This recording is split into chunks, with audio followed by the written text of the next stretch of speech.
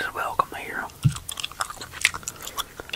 I don't really care what you look like, what you think, what you believe, anything. You're always welcome here.